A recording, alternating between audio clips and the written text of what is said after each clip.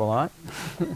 um, and uh, I, I, where I am, I'm a library person, and uh, so at one time I got this book for the library, which is right here. And uh, I get these books so I can set up challenge problems for the undergraduates. And, the, the, and, and, so I put up a challenge problem about chains with only four links in it. And uh, I got a lot of good feedback from students about it. And, uh, and then one, of the, one was not a student, he was a lecturer in the class. Uh, and, he, um, and he started working with uh, longer chains. And so then I gave him this book so he could read it. And he came up with an algorithm. And then we, I helped him work on this. But he couldn't come to give the talk, so I'm replacing him because he's off in Ireland having a good time, and so I'm going to give the talk. So it's uh, and something that uh, Joseph wrote about, and that was in here where we got it. And so here we go.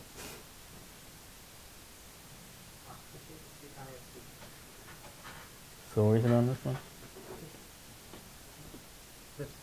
Oh, that one. Okay.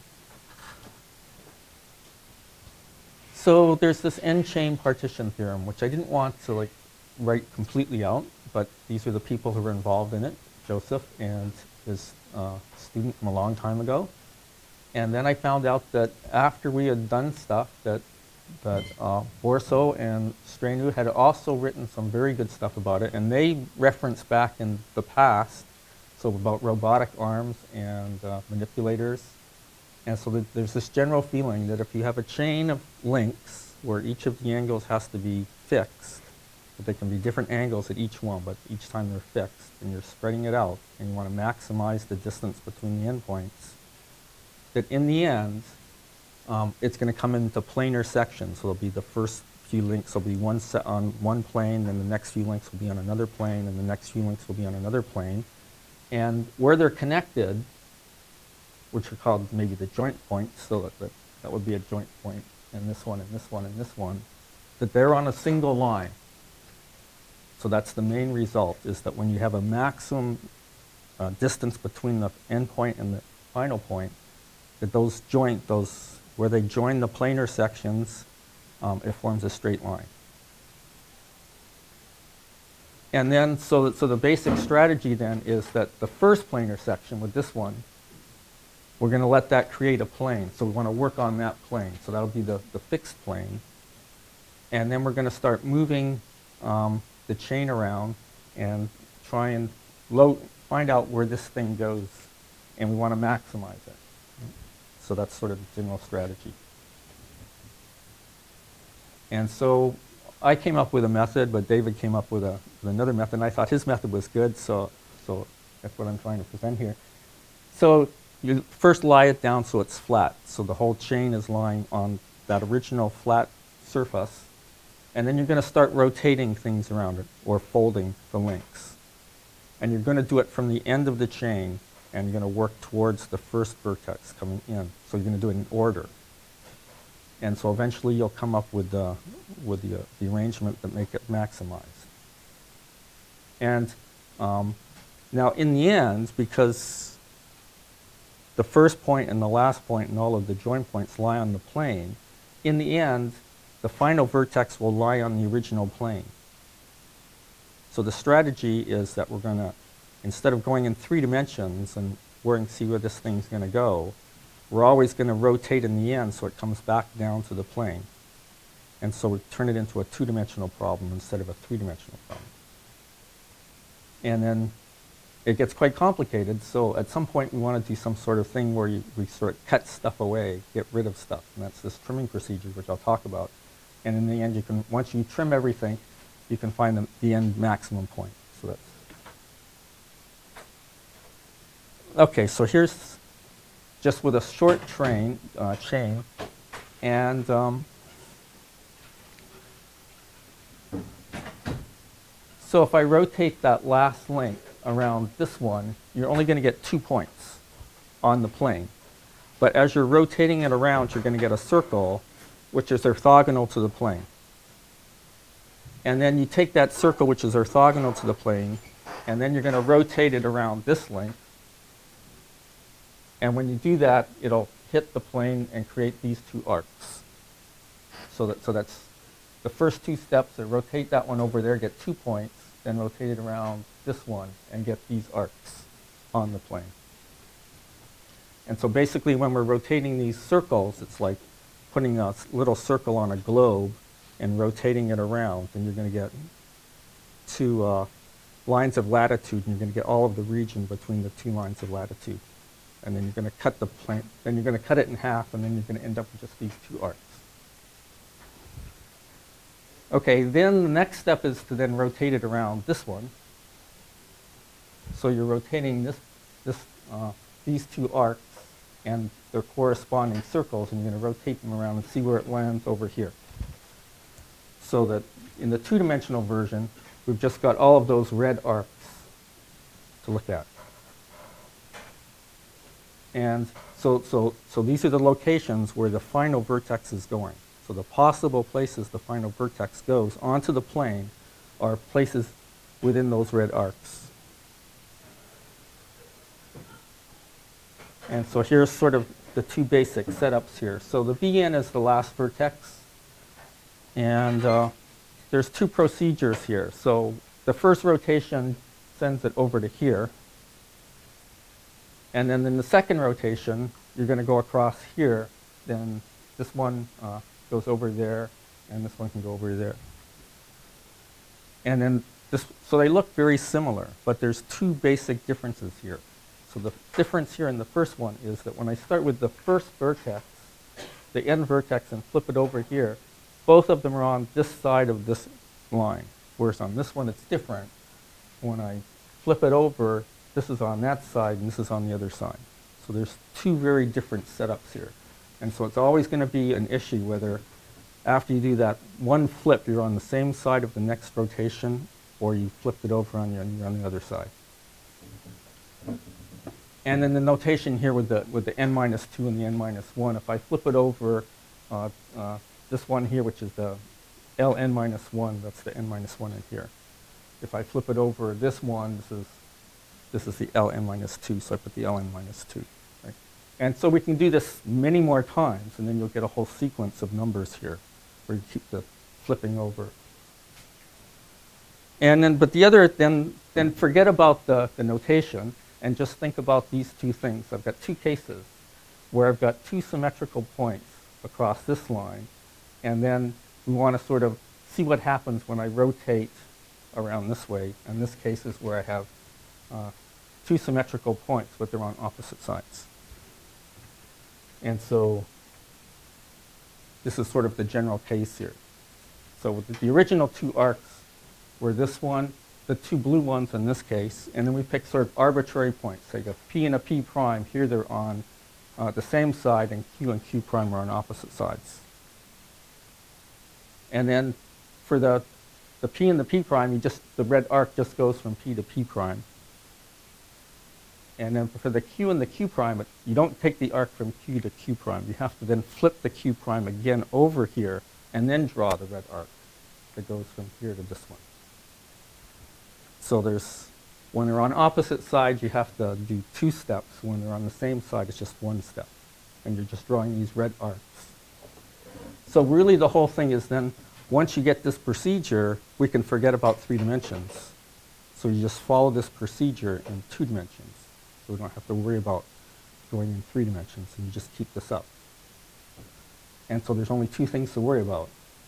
And then, um, so if I keep this up, so if I do this for every pair of points on this one and this one, then it's going to cover in this entire region, and then it's going to cover in this thing here. So, th- so inside that region is going to be all of the possible places where that VN vertex is going to end up in, in this case, after the two steps. Now, because we want to sort of maximize, we're going to forget about the interior points and just look at the boundary points.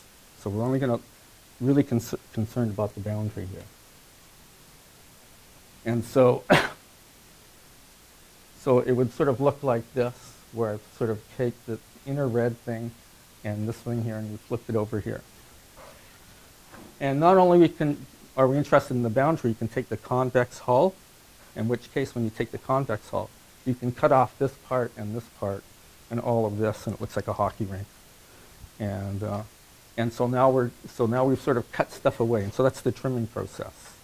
So it looked kind of complicated, but now it's sort of less complicated because now after the two steps, we've just got the blue, the red, the blue, and its symmetric version over here.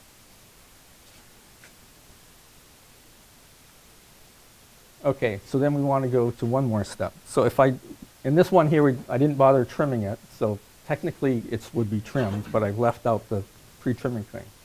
Okay, and so I want to indicate the two uh, cases. Case one is again where this region is on the opposite side of this thing here.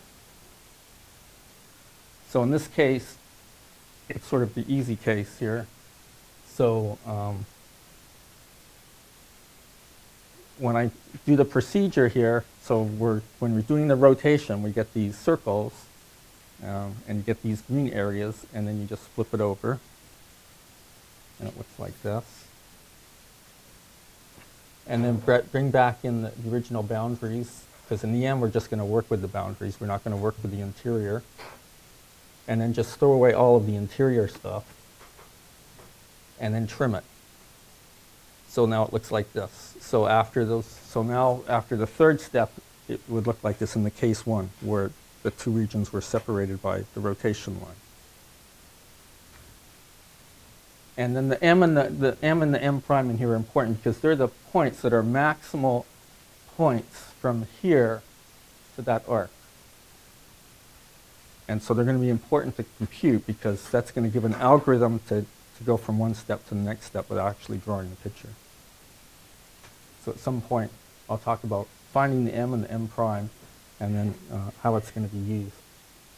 So this is, uh, this is the other case, case two, where, uh, so this was the original thing here, but now this is, I'm trying to reflect across this one, but this, this cuts into this one, it cuts into that chunk, so that causes the problem. So that the regions aren't in the other case, we had one region over here, and the other region was on this side of the line, the reflection line. Okay, so when you reflect here, um, then we miss out this part here, which is that gets missed because of the crossover. All of this part gets missed in here, and you get this thing here. So really what the region looks like, where that last vertex can go, the VN, would be take that thing and rotate it around this axis, and you get some sort of very complicated three-dimensional region, which we don't want to deal with. We just want to deal with the, its projection down or its, where it crosses this plane, which looks like this. And then here's where it would look like if I didn't have the green, I would just flip them over this way here, and then sort of take boundaries and trim. So throw away the green stuff. And so this is where that last vertex is going to when it lands on the plane and then the trimming makes it look like this. So after the trimming, it comes fairly easy to work with. Okay, and then so here's the where you got to compute the max point. So, so if I'm going from in this case, it's just a short chain. This is a, the initial v0, and we're going to this where it landed with, and then there's another reflection of it on the other side, which we don't have to worry about. And so basically, um, it's you you just travel along here. So you could travel along, say, the top thing and start measuring the distances from v0 going along this arc. And because the center of the blue circle is here and the center of the red circle is here, then these arcs don't, when you, they don't go through the circle, so that red line doesn't go through the circle and the blue one doesn't do the circle. So when we're traveling along these two, three arcs, it's going to increase. So it increases along the blue, and then it'll decrease along the red, and it'll decrease along this one. So the maximum point would be right there. So generally in the end, it's going to be when we get to the, to the final trim section, you're going to go along the arcs. There might be 27 arcs in the end. It's going to be increasing up to a point and then decreasing, or it's going to increase all of the way, or it's going to decrease all of the way. There's not going to be like two options. So there'll be a unique maximum point. And so um, here's another trimming example where we've gotten to the case where uh, we're down to here. There, this light red, the light blue, and the light red. And we want to go to the next step where we're going to uh, rotate over this guy here. And the question is, how are we going to see what the next uh, um, trimmed version looks like? And so in this case, it's you find the max point from here, which is the V2, and it turns out to be this one here. And, uh, and then you do a double reflection. So you're going to reflect over here, and then you're going to reflect over here, which amounts to a rotation. So it's a double reflection. So you double the angle here, this one here, and you're going to rotate and get that green arc. And as you rotate the green arc, you're actually going to rotate the light blue and the light red, and they go up to the dark blue and the dark red. And, and you leave this part in. So the next trimmed part would look like this part and then that part, and then you reflect it over here, and then you do a final trimming again. So, so, so there's a process we have. Once you find the max point, you can decide how you're going to use the max point on that level to create the next trim. And um, so here I thought I'd do an, uh, just a quick little four thing, because I think in the end, everything's about just four lengths, and you just sort of generalize it. Two minutes? Okay, so here's, um, so if I start with the thing that looks like this, and I want the first, after the first step, I want the two blue things. So um, you get those two arcs here, and then you have to find the maximum point from B naught to the blue, the two blue arcs. And it's obviously up here. So that's obviously the maximum point from there to there. And how did I get to there? So that's, that's, that's the 432. So you first reflect the, the, this thing over this one, and then you reflect it over this one, and you get up to there. So that's your max point. So then how do you arrange the, train, the chain to give you that max point? So you just take the operation, uh, reflect, and then reflect, and you do that, and you end up with this picture. And so now you've got um, the arrangement of the chain, and that's going to be maximum distance. And so, um, and just we're going to sort of do that in general for the longer chains. And that's, uh, that's basically it, I think. Thank you.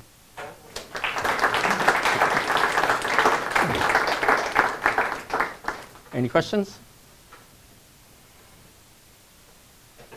So the, the number of points on the trimmed arcs Mm-hmm. is never more than linear?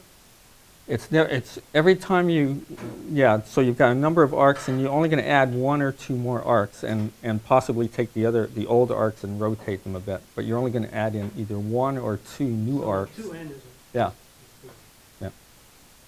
But then you have to go through, introduce the process of finding the max point and then that's another, yeah.